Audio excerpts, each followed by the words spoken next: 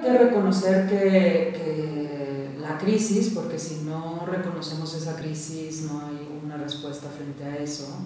Eh, por otro lado, eh, tenemos que reconocer que hay que generar eh, mecanismos específicos de búsqueda para que estas, estas desapariciones no continúen.